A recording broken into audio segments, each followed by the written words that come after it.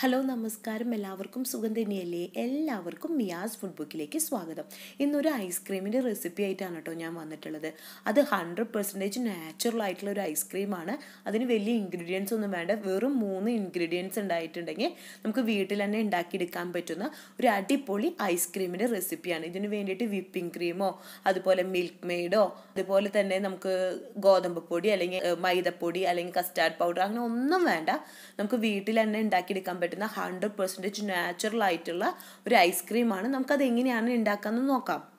ഇതിന് വേണ്ടിയിട്ട് ആദ്യം തന്നെ നമുക്കൊരു പാൻ എടുത്തതിന് ശേഷം അതിലേക്ക് ഒരു നാല് കപ്പ് പാൽ ചേർത്ത് കൊടുക്കാം. അതും പശുവിന്റെ പ പശുമ്പാലാണ് കേട്ടോ ചേർത്ത് കൊടുത്തിട്ടുള്ളത്. ആ ഒരു നാല് കപ്പ് എന്ന് പറയുമ്പോൾ ഒരു ലിറ്റർ പാലാണ്. അതിനുശേഷം സ്റ്റൗം ഒരു മീഡിയം ഫ്ലെയിമിൽ വെച്ച് കൊടുക്കാം. പാലൊക്കെ ഒന്ന് ചെറുതായി ഒന്ന് തിളച്ച് വരുന്നവരേക്ക് നമുക്കൊന്ന് വെയിറ്റ് ചെയ്യാം. അപ്പോൾ പാലൊക്കെ നമ്മുടെ ചെറുതായി ഒന്ന് തിളച്ച് വന്ന് തുടങ്ങിയിട്ടുണ്ട്. ഈ ഒരു ടൈമിൽ ഇത് നമുക്കൊരു കയ്യിൽ യൂസ് ചെയ്തിട്ട് ആദ്യം തന്നെ ഇതൊന്ന് ഇളക്കിയെടുക്കാം. അതിനുശേഷം ഇതിലേക്ക് ഒരു അര കപ്പ് പഞ്ചസാര അതായത് ഒരു നൂറ്റി ഇരുപത്തഞ്ച് എം എൽ പഞ്ചസാരയാണ് കേട്ടോ ഞാൻ ഇതിലേക്ക് ചേർത്ത് കൊടുക്കുന്നത്. പൊടിച്ചിട്ടൊന്നല്ല ശരിക്കും നമ്മൾ കടയിൽ നിന്ന് മേടിക്കുമ്പോൾ എങ്ങനെയാണുള്ളത് അതേപോലെ തന്നെയാണ് ഇതിലേക്ക് ചേർത്ത് കൊടുക്കുന്നത്. അതിനുശേഷം നമുക്ക് ഇടയ്ക്കിടയ്ക്ക് ഇളക്കി കൊണ്ടുകൊണ്ട് ഇരിക്കാം. അതിനുശേഷം ലോ ഫ്ലെയിമിലേക്ക് ചേഞ്ച് ചെയ്ത് കൊടുക്കാം പഞ്ചസാര ഇട്ടതിന് ശേഷം. അതിനുശേഷം ലോ ഫ്ലെയിമിൽ നമുക്ക് ഇടയ്ക്ക് ഇളക്കിക്കൊണ്ട് ഇരിക്കാം. അതൊന്ന് കട്ടിയായിട്ട് കുറുകി വരണം. ഒരു വൺ ബൈ തേർഡ് അതായത് ഒരു വൺ ഒരു കപ്പ് പാലായിട്ട് വരണം. അതുവരേക്ക് നമുക്ക് ഇത് കുറുക്കിയെടുക്കാം. ഇപ്പം നമ്മുടെ പാലൊക്കെ നന്നായി തിളച്ചത് കുറുകി വന്നു തുടങ്ങിയിട്ടുണ്ട് കേട്ടോ. ആ ഒരു ടൈമിൽ നമുക്ക് സ്റ്റൗ ഓഫ് ചെയ്ത് കൊടുക്കാം. ഇപ്പോൾ സ്റ്റൗ ഓഫ് ചെയ്ത് കൊടുത്തിട്ട് ഒരു പത്ത് മിനിറ്റ് കഴിഞ്ഞിട്ട് നമ്മുടെ കട്ടിയായിട്ട് വന്നിട്ട് ഈ ഒരു ലെവലിലാണ് ഞാൻ എടുത്തിട്ടുള്ളത്. അതിനുശേഷം നമുക്കിതിപ്പോൾ തലേദിവസം തന്നെ ഉണ്ടാക്കിയതിന് ശേഷം ഫ്രിഡ്ജിൽ വെച്ച് കൊടുക്കണമെങ്കിൽ വെച്ച് കൊടുക്കാം കേട്ടോ. അപ്പം അന്ന് തന്നെ ഉണ്ടാക്കിയെടുക്കണമെന്നില്ല. ഇനി നമുക്ക് ഇതിന് വേണ്ടിയിട്ട് വേണ്ടതെന്ന് വെച്ചിട്ടുണ്ടെങ്കിൽ ഒരു കാൽഭാഗം വാട്ടർ മെലനാണ് ഒരു ഏകദേശം ഒരു അര കിലോന്റെ അടുത്ത് വരുന്ന ഒരു വാട്ടർ മെലന്റെ ഒരു പീസാണ് കേട്ടോ ഞാൻ എടുത്തിട്ടുള്ളത്. ഇതിലത്തെ കുരുവൊക്കെ നമുക്ക് മാക്സിമം കളഞ്ഞെടുത്തതിന് ശേഷം നമുക്ക് ഒരു മിക്സിയുടെ ജാറിലേക്ക് കട്ട് ചെയ്ത് കൊടുക്കാം. നമ്മുടെ മിക്സിയുടെ ജാറിലേക്ക് ഇങ്ങനെ കട്ട് ചെയ്തിട്ട് കൊടുക്കുന്നുണ്ട്.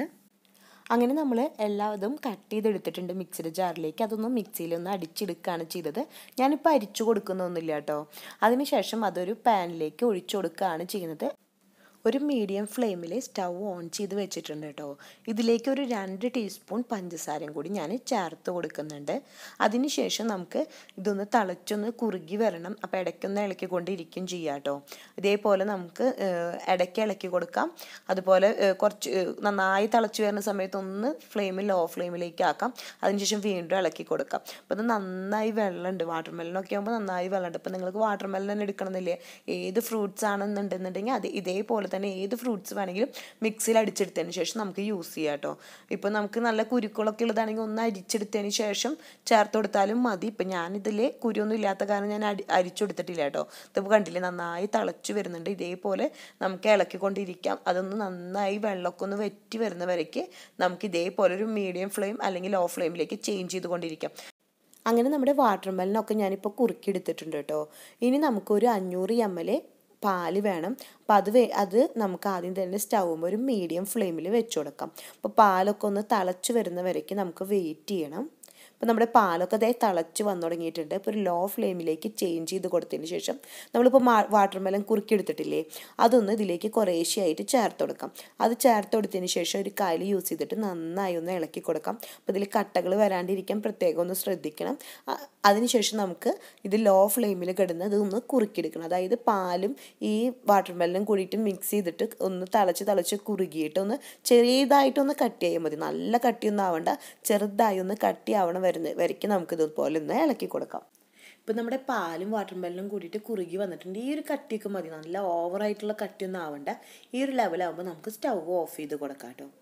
അതിനുശേഷം നമുക്കിതൊന്ന് കണ്ടെയ്നറിലാക്കി കൊടുക്കണം. അപ്പോൾ ആദ്യം തന്നെ ഞാനൊന്ന് മിക്സിയിലൊന്ന് അടിച്ചു കൊടുക്കുന്നുണ്ട്.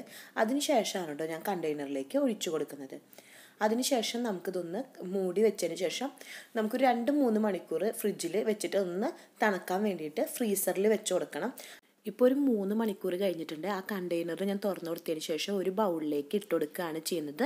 ഇപ്പം ഞാൻ ഇലക്ട്രിക് ബീറ്ററാണ് കേട്ടോ യൂസ് ചെയ്യണത്. ഇപ്പോൾ ഇലക്ട്രിക് ബീറ്റർ വേണമെന്ന് ഒരു നിർബന്ധമില്ല നമുക്ക് മിക്സിയിൽ അടിച്ചു കൊടുത്താലും മതി കേട്ടോ അപ്പോൾ നിങ്ങൾക്ക് ഏതാണ് കയ്യിലുള്ളതെന്നുണ്ടെങ്കിൽ അത് യൂസ് ചെയ്യാം കേട്ടോ അപ്പോൾ ഇത് നമ്മളെല്ലാം ചേർത്ത് കൊടുത്തിട്ടുണ്ട്. അതിന് ശേഷം ഇലക്ട്രിക് ബീറ്റർ യൂസ് ചെയ്തിട്ടൊന്ന് ലോ സ്പീഡിൽ നമുക്കിതൊന്ന് അടിച്ചെടുക്കാം.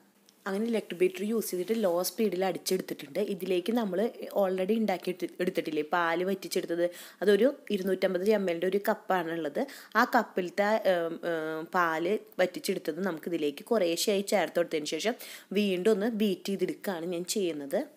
ഇതിന് പകരം നിങ്ങൾക്ക് മിൽക്ക് മെയ്ഡ് ചേർത്ത് കൊടുക്കണമെങ്കിൽ മിൽക്ക് മെയ്ഡ് ചേർത്ത് കൊടുക്കാം കേട്ടോ ഞാനിപ്പോൾ ഇതാണ് ചെയ്തിട്ടുള്ളത്. നിങ്ങൾക്ക് ഇഷ്ടമുള്ളത് ഏതാണ് മെത്തേഡാണ് വേണ്ടതെന്നുണ്ടെങ്കിൽ നിങ്ങൾക്ക് അത് ചെയ്യാം. അതിനുശേഷം നന്നായി ഒന്ന് ബീറ്റ് ചെയ്തെടുക്കുകയാണ് ചെയ്തത്. അപ്പോൾ നമ്മൾ ബീറ്റ് ചെയ്തിട്ട് നന്നായി ഒന്ന് ബീറ്റ് ചെയ്തെടുത്തിട്ടുണ്ട്. നമുക്കിതൊരു കണ്ടെയ്നറിലേക്ക് ഒഴിച്ചു കൊടുക്കാം. അപ്പോൾ ഞാനൊരു കണ്ടെയ്നറിലേക്ക് ഈ മിക്സ് ഒന്ന് ഒഴിച്ചു കൊടുക്കാൻ പോവുകയാണ്. അതിനുശേഷം ഇതിന്റെ മുകളിലേക്ക് ഒന്ന് റാപ്പ് ചെയ്ത് കൊടുക്കുന്നുണ്ട്. അതിനുശേഷം നമുക്ക് ഇത് ഇതിന്റെ മുകളിലേക്ക് മൂടി വെച്ച് കൊടുത്തതിന് ശേഷം ഫ്രീസറിൽ ഒരു എട്ട് പത്ത് മണിക്കൂർ വെക്കണം. എട്ട് പത്ത് മണിക്കൂർ നമുക്ക് ഫ്രീസ് ചെയ്യാൻ വേണ്ടിയിട്ട് വെക്കണം. അപ്പോൾ ഫ്രീസറിലേക്ക് നമുക്കത് മാറ്റി വെക്കുക ഈ കണ്ടെയ്നർ ഒരു പത്ത് മണിക്കൂർ കഴിഞ്ഞതിന് ശേഷം വേണം നമുക്കത് ഓപ്പൺ ചെയ്ത് നോക്കാം. ഇപ്പോൾ ഒരു പത്ത് മണിക്കൂർ കഴിഞ്ഞിട്ടുണ്ട്. അപ്പോൾ ഞാൻ ഫ്രീസറിൽ നിന്ന് എടുത്തിട്ടുണ്ട്. അപ്പോൾ അതിന്റെ ആദ്യം തന്നെ മൂടി തുറന്നു കൊടുത്തു. അതുപോലെ തന്നെ റാപ്പ് ചെയ്ത ആ റാപ്പിംഗ് ഷീറ്റ് ഒന്ന് മാറ്റിയെടുത്തു. ഇപ്പോൾ നമ്മുടെ നോക്കുമ്പോൾ എന്ന് വെച്ചിട്ടുണ്ടെങ്കിൽ അത്ര അങ്ങോട്ട് സോഫ്റ്റായി തോന്നണില്ല. നിങ്ങൾക്ക് കാണുമ്പോൾ തന്നെ അറിയാൻ പറ്റും. അപ്പോൾ നിങ്ങൾക്ക് ഇങ്ങനെ നോക്കില്ലേ? ഇപ്പോൾ കറക്റ്റ് നമ്മൾ സാധാ ഐസ്ക്രീം കഴിക്കുന്ന ആ ഒരു പെർഫെക്ഷൻ കിട്ടുന്നില്ല.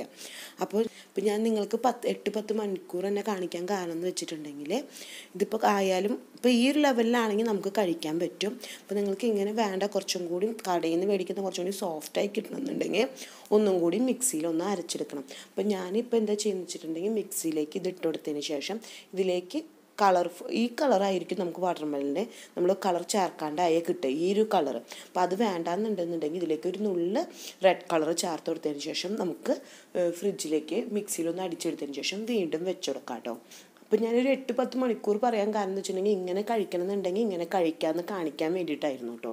അല്ലാന്നുണ്ടെങ്കിൽ ഒരു നാലഞ്ച് മണിക്കൂർ ആയി കഴിഞ്ഞിട്ടുണ്ടെങ്കിൽ നമുക്ക് ഒന്നും കൂടി മിക്സിയിലെടുത്തിട്ട് അടിച്ചതിന് ശേഷം വേണം വീണ്ടും ഒന്ന് ഫ്രീസ് ചെയ്യാൻ ഒരു എട്ട് പത്ത് മണിക്കൂർ വെക്കേണ്ടത് കേട്ടോ. ഇപ്പോൾ ഒരു പത്ത് മണിക്കൂർ കഴിഞ്ഞിട്ടുണ്ട്. നമ്മൾ അതിന്റെ മൂടി തുറന്നു കൊടുത്തിട്ടുണ്ട്. അതുപോലെ തന്നെ റാപ്പ് ചെയ്തതും മാറ്റിയിട്ടുണ്ട്. അപ്പോൾ നമ്മൾ കടയിൽ നിന്ന് പിടിക്കുന്ന പോലെ അതേപോലെ നല്ല സോഫ്റ്റ് ആയിട്ടുള്ള ഐസ്ക്രീം തന്നെ കിട്ടിയിട്ടുണ്ട്. നമുക്കിതൊന്ന് എടുക്കുമ്പോൾ കണ്ടില്ല? നല്ല സോഫ്റ്റ് ആയിട്ട് കുഴിഞ്ഞു പോകുന്ന പോലെ തന്നെ കടയിൽ നിന്ന് മേടിക്കുമ്പോൾ നമ്മൾ സ്കൂപ്പ് സ്കൂപ്പ് ചെയ്തെടുക്കുന്ന അതേപോലെ തന്നെ വന്നിട്ടുണ്ട്. നമുക്കിതൊരു ഗ്ലാസ്സിലേക്ക് ചേഞ്ച് ചെയ്ത് കൊടുക്കാം കേട്ടോ നല്ല സോഫ്റ്റായി വന്നിട്ടുണ്ട് നമ്മുടെ ഐസ്ക്രീം നമുക്ക് ഏത് ടൈപ്പിൽ വേണമെങ്കിലും. ഇപ്പോൾ ഒരു ആദ്യത്തെ ടൈപ്പിലായാലും കുഴപ്പമൊന്നുമില്ല ടേസ്റ്റ് ഉണ്ട്. എങ്കിൽ കൂടി ഇതൊന്നും കൂടി സോഫ്റ്റ് ആയിട്ടുണ്ട്. അപ്പോൾ നിങ്ങൾക്ക് എങ്ങനെയാണ് ഐസ്ക്രീം വേണ്ടതെന്നുണ്ടെങ്കിൽ അങ്ങനെ കഴിക്കാം. നമുക്കൊന്ന് കുറച്ച് മെനക്കെടണം എന്നുള്ളൂ അതായത് അധികമൊന്നുമില്ല. ജസ്റ്റ് ഒന്ന് മിക്സിയിൽ അടിച്ചെടുക്കുകയാണ് വേണ്ടത്. അപ്പോൾ കുറച്ച് ടൈം എടുക്കുന്നുള്ളൂ. അപ്പോൾ നമ്മൾ നേരത്തെ കൂട്ടി ഉണ്ടാക്കി വെക്കണം എന്നുള്ള ഒരു ബുദ്ധിമുട്ടുള്ളൂ. നമുക്ക് ഹൺഡ്രഡ് പെർസെന്റേജ് നാച്ചുറലായിട്ട് തന്നെ വീട്ടിൽ ഐസ്ക്രീം ഉണ്ടാക്കിയെടുക്കാം അപ്പോൾ കുട്ടികൾക്ക് ധൈര്യസമേതം കൊടുക്കാം. വിപ്പിംഗ് ക്രീമോ അല്ലെങ്കിൽ പൗഡറോ അതൊന്നും ചേർക്കില്ല നല്ല ടേസ്റ്റ് ഉണ്ട് ഐസ്ക്രീമിന് അപ്പോൾ നിങ്ങൾ എല്ലാവരും ഇങ്ങനൊരു ഐസ്ക്രീം ഒന്ന് ട്രൈ ചെയ്ത് നോക്കണം കേട്ടോ എന്നിട്ട് നിങ്ങളുടെ അഭിപ്രായങ്ങൾ എന്നോട് കമന്റ് ബോക്സിൽ അറിയിക്കാൻ മറക്കരുത്. വീഡിയോ ഇഷ്ടപ്പെട്ടിട്ടുണ്ടെങ്കിൽ നിങ്ങളുടെ ഫാമിലിയായിട്ടും ഫ്രണ്ട്സായിട്ടൊന്ന് ഷെയർ ചെയ്യണം കേട്ടോ അടുത്ത ദിവസം പുതിയ വെറൈറ്റി റെസിപ്പി ആയിട്ട് വീണ്ടും വരാം. Thanks for watching bye